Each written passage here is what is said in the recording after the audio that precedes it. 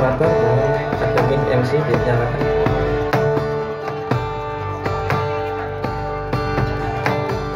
ada yang mau request untuk gue